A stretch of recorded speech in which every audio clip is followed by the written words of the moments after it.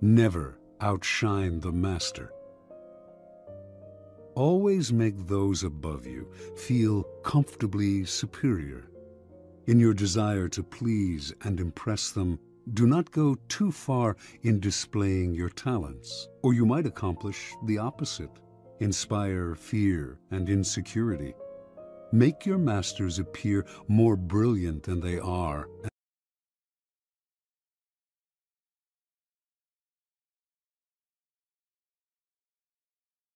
and friends. Learn how to use enemies. Be wary of friends. They will betray you more quickly, for they are easily aroused to envy. They also become spoiled and tyrannical. But hire a former enemy, and he will be more loyal than a friend, because he has more to prove. In fact, you have more to fear from friends than from enemies. If you have no enemies, find a way to make them. Law 3. Conceal your intentions. Keep people off balance and in the dark by never revealing the purpose behind your actions. If they have no clue what you are up to, they cannot prepare a defense. Guide them far enough down the wrong path, envelop them in enough smoke, and by the time they realize your intentions, it will be too late. Law 4. Always say less than necessary. When you are trying to impress people with words, the more you say, the more common you appear and the less in control. Even if you're saying something banal, it will seem original if you make it vague, open-ended, and sphinx-like. Powerful people impress and intimidate by saying less. The more you say, the more likely you are to say something foolish. Law 5. So much depends on reputation. Guard it with your life. Reputation is the cornerstone of power. Through reputation alone, you can intimidate and win. Once it slips, however, you are vulnerable and will be attacked on all sides. Make your reputation unassailable. Always be alert to potential attacks and thwart them before they happen. Meanwhile, learn to destroy your enemies by opening holes in their own reputations. Then stand aside and let public opinion hang them. Law 6. Court attention at all cost. Everything is judged by its appearance. What is unseen counts for nothing. Never let yourself get lost in the crowd then, or buried in oblivion. Stand out. Be conspicuous at all cost. Make yourself a magnet of attention by appearing larger, more colorful, more mysterious than the bland and timid masses. Law 7. Get others to do the work for you, but always take the credit. Use the wisdom, knowledge, and legwork of other people to further your own cause. Not only will such assistance save you valuable time and energy, it will give you a godlike aura of efficiency and speed. In the end, your helpers will be forgotten and you will be remembered. Never do yourself what others can do for you. Law 8. Make other people come to you. Use bait if necessary. When you force the other person to act, you are the one in control. It is always better to make your opponent come to you, abandoning his own plans in the process. Lure him with fabulous gains, then attack. You hold the cards. Law 9. Win through your actions, never through argument. Any momentary triumph you think you have gained through argument is really a Pyrrhic victory. The resentment and ill will you stir up is stronger and lasts longer than any momentary change of opinion. It is much more powerful to get others to agree with you through your actions without saying a word. Demonstrate, do not explicate. Law 10. Infection. Avoid the unhappy and unlucky. You can die from someone else's misery. Emotional states are as infectious as diseases. You may feel you are helping the drowning man, but you are only precipitating your own disaster. The unfortunate sometimes draw misfortune on themselves. They will also draw it on you. Associate with the happy and fortunate instead. Law 11. Learn to keep people dependent on you. To maintain your independence, you must always be needed and wanted. The more you are relied on, the more freedom you have. Make people depend on you for their happiness and prosperity, and you have nothing to fear. Never teach them enough so that they can do without you. Law 12. Use selective honesty and generosity to disarm your victim. One sincere and honest move will cover over dozens of dishonest ones. Open-hearted gestures of honesty and generosity bring down the guard of even the most suspicious people. Once your selective honesty opens a hole in their armor, you can deceive and manipulate them at will. A timely gift, a Trojan horse, will serve the same purpose. Law 13. When asking for help, appeal to people's self-interest never to their mercy or gratitude. If you need to turn to an ally for help, do not bother to remind him of your past assistance and good deeds. He will find a way to ignore you. Instead, uncover something in your request or in your alliance with him that will benefit him and emphasize it out of all proportion. He will respond enthusiastically when he sees something to be gained for himself. Law 14. Pose as a friend, work as a spy. Knowing about your rival is critical. Use spies to gather valuable information that will keep you a step ahead. Better still, play the spy yourself. In polite social encounters, learn to probe Ask indirect questions to get people to reveal their weaknesses and intentions. There is no occasion that is not an opportunity for artful spying. Law 15. Crush your enemy totally. All great leaders since Moses have known that a feared enemy must be crushed completely. Sometimes they have learned this the hard way. If one ember is left alight, no matter how dimly it smolders, a fire will eventually break out. More is lost through stopping halfway than through total annihilation. The enemy will recover and will seek revenge. Crush him, not only in body, but in spirit. Law 16. Use absence to increase respect and honor. Too much circulation makes the price go down. The more you are seen and heard from, the more common you appear. If you are already established in a group, temporary withdrawal from it will make you more talked about, even more admired. You must learn when to leave, create value through scarcity.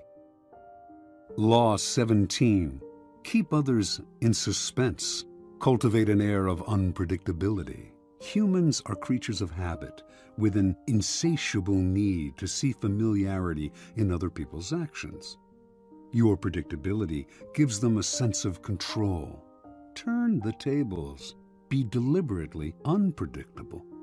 Behavior that seems to have no consistency or purpose will keep them off balance, and they will wear themselves out trying to explain your moves. Taken to an extreme, this strategy can intimidate and terrorize. Law 18. Do not build fortresses to protect yourself. Isolation is dangerous. The world is dangerous and enemies are everywhere. Everyone has to protect themselves. A fortress seems the safest, But isolation exposes you to more dangers than it protects you from. It cuts you off from valuable information. It makes you conspicuous and an easy target. Better to circulate among people, find allies, mingle. You are shielded from your enemies by the crowd. Law 19. Know who you are dealing with. Do not offend the wrong person. There are many different kinds of people in the world, and you can never assume that everyone will react to your strategies in the same way. Deceive or outmaneuver some people, and they will spend the rest of their lives seeking revenge. They are wolves in lamb's clothing. Choose your victims and opponents carefully then. Never offend or deceive the wrong person. Law 20 do not commit to anyone. It is the fool who always rushes to take sides. Do not commit to any side or cause but yourself. By maintaining your independence, you become the master of others, playing people against one another, making them pursue you. Law 21. Play a sucker to catch a sucker. Seem dumber than your mark. No one likes feeling stupider than the next person. The trick then is to make your victims feel smart, and not just smart, but smarter than you are. Once convinced of this, they will never suspect that you may have ulterior motives. Law 22. Use the surrender tactic. Transform weakness into power. When you are weaker, never fight for honor's sake. Choose surrender instead. Surrender gives you time to recover, time to torment and irritate your conqueror, time to wait for his power to wane. Do not give him the satisfaction of fighting and defeating you. Surrender first. By turning the other cheek, you infuriate and unsettle him. Make surrender a tool of power.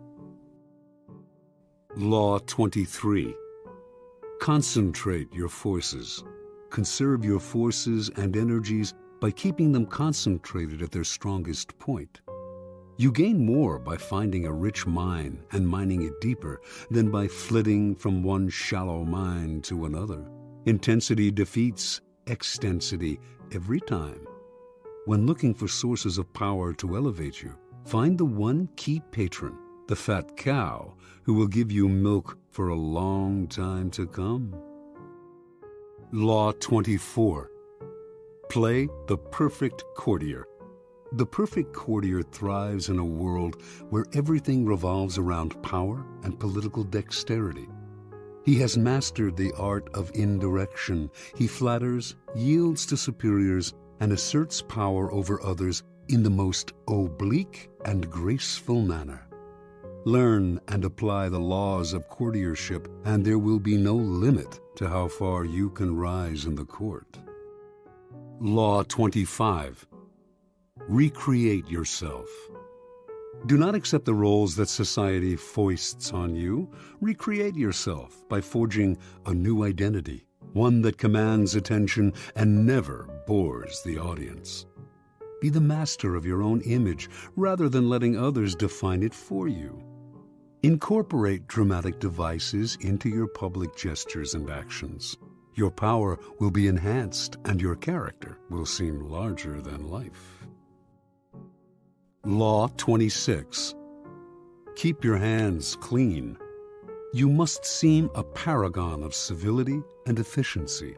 Your hands are never soiled by mistakes and nasty deeds maintain such a spotless appearance by using others as unwitting pawns and screens to disguise your involvement. Law 27 Play on people's need to believe to create a cult like following. People have an overwhelming desire to believe in something. Become the focal point of such desire by offering them a cause, a new faith to follow, Keep your words vague but full of promise. Emphasize enthusiasm over rationality and clear thinking. Give your new disciples rituals to perform. ask them to make sacrifices on your behalf. In the absence of organized religion and grand causes, your new belief system will bring you untold power. Law 28 Enter action with boldness. If you are unsure of a course of action, do not attempt it. Your doubts and hesitations will infect your execution. Timidity is dangerous. Better to enter with boldness. Any mistakes you commit through audacity are easily corrected with more audacity. Everyone admires the bold. No one honors the timid. Law 29. Plan all the way to the end. The ending is everything. Plan all the way to it, taking into account all the possible consequences, obstacles, and twists of fortune that might reverse your hard work and give the glory to others. By planning to the end, you will not be overwhelmed by circumstances and you will know when to stop. Gently guide fortune and help determine the future by thinking far ahead. Law 30. Make your accomplishments seem effortless. Your actions must seem natural and executed with ease. All the toil and practice that go into them, and also all the clever tricks, must be concealed. When you act, act effortlessly, as if you could do much more. Avoid the temptation of revealing how hard you work. It only raises questions. Teach no one your tricks, or they will be used against you. Law 31. Control the options. Get others to play with the cards you deal. The best deceptions are the ones that seem to give the other person a choice. Your victims feel they are in control, but are actually your puppets. Give people options that come out in your favor, whichever one they choose. Force them to make choices between the lesser of two evils, both of which serve your purpose. Put them on the horns of a dilemma. They are gored wherever they turn. Law 32 Play to people's fantasies. The truth is often avoided because it is ugly and unpleasant. Never appeal to truth and reality unless you are prepared for the anger that comes from disenchantment. Life is so harsh and distressing that people who can manufacture romance or conjure up fantasy are like oases in the desert Everyone flocks to them. There is great power in tapping into the fantasies of the masses. Law 33. Discover each man's thumb screw. Everyone has a weakness, a gap in the castle wall. That weakness is usually an insecurity, an uncontrollable emotion or need. It can also be a small secret pleasure Either way, once found, it is a thumbscrew you can turn to your advantage. Law 34. Be royal in your own fashion. Act like a king to be treated like one. The way you carry yourself will often determine how you are treated. In the long run, appearing vulgar or common will make people disrespect you for a king respects himself and inspires the same sentiment in others. By acting regally and confident of your powers, you make yourself seem destined to wear a crown. Law 35 Master the art of timing. Never seem to be in a hurry. Hurrying betrays a lack of control over yourself and over time. Always seem patient as if you know that everything will come to you eventually. Become a detective of the right moment. Sniff out the spirit of the times, the trends that will carry you to power. Learn to stand back when the time is not yet ripe, and to strike fiercely when it has reached fruition. Law 36 Disdain things you cannot have Ignoring them is the best revenge. By acknowledging a petty problem, you give it existence and credibility. The more attention you pay an enemy, the stronger you make him, and a small mistake is often made worse and more visible when you try to fix it. It is sometimes best to leave things alone. If there is something you want but cannot have, show contempt for it. The less interest you reveal, the more superior you seem. Law 37 Create compelling spectacles. Striking imagery and grand symbolic gestures create the aura of power. Everyone responds to them. Stage spectacles for those around you. Then, full of arresting visuals and radiant symbols that heighten your presence. Dazzled by appearances, no one will notice what you are really doing. Law 38 Think as you like, but behave like others.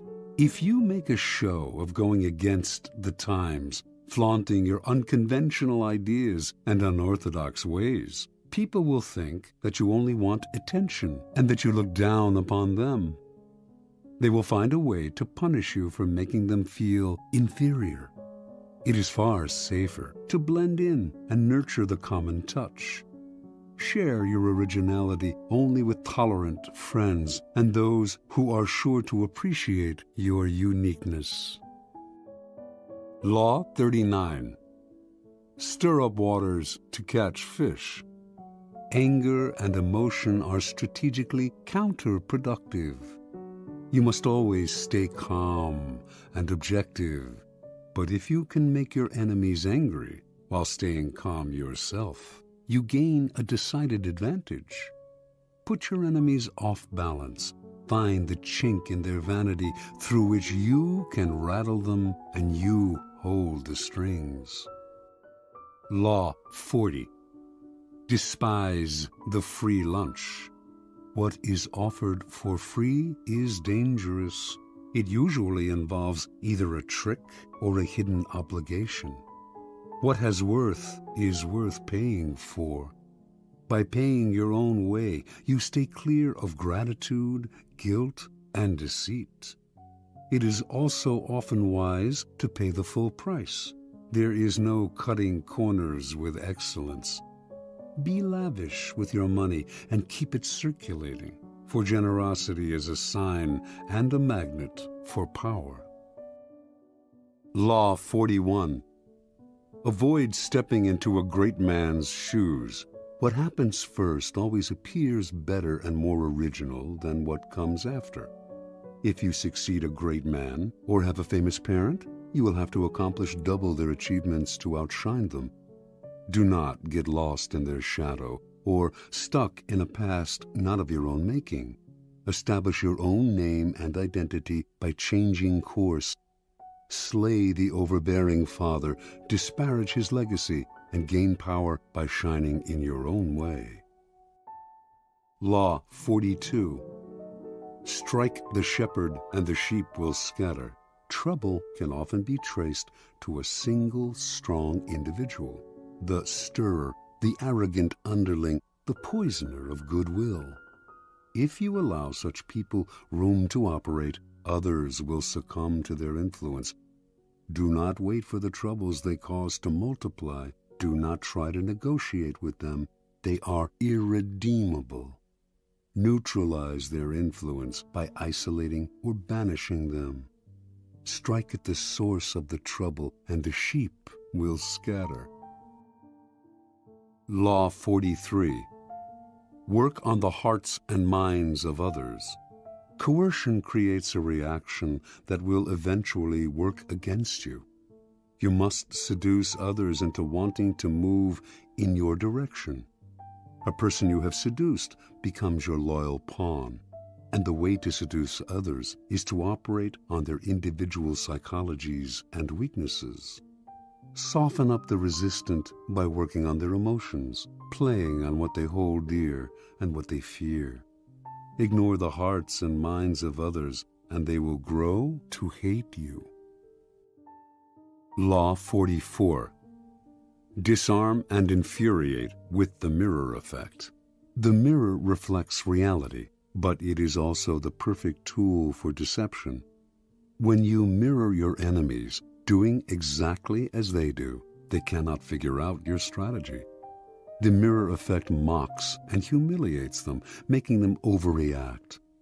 By holding up a mirror to their psyches, you seduce them with the illusion that you share their values. By holding up a mirror to their actions, you teach them a lesson. Few can resist the power of the mirror effect. Law 45 Preach the need for change, but never reform too much at once. Everyone understands the need for change in the abstract, but on the day to day level, people are creatures of habit. Too much innovation is traumatic and will lead to revolt if you are new to a position of power or an outsider trying to build a power base, make a show of respecting the old ways of doing things. If change is necessary, make it feel like a gentle improvement on the past. Law 46 Never appear too perfect. Appearing better than others is always dangerous. But most dangerous of all is to appear to have no faults or weaknesses. Envy creates silent enemies. It is smart to occasionally display defects and admit to harmless vices in order to deflect envy and appear more human and approachable. Only gods and the dead can seem perfect with impunity. Law 47 do not go past the mark you aimed for. In victory, learn when to stop. The moment of victory is often the moment of greatest peril. In the heat of victory, arrogance and overconfidence can push you past the goal you had aimed for, and by going too far, you make more enemies than you defeat. Do not allow success to go to your head. There is no substitute for strategy and careful planning. Set a goal, and when you reach it, stop. Law 48 Assume formlessness. By taking a shape, by having a visible plan, you open yourself to attack. Instead of taking a form for your enemy to grasp, keep yourself adaptable and on the move. Accept the fact that nothing is certain and no law is fixed. The best way to protect yourself is to be as fluid and formless as water. Never bet on stability or lasting order. Everything changes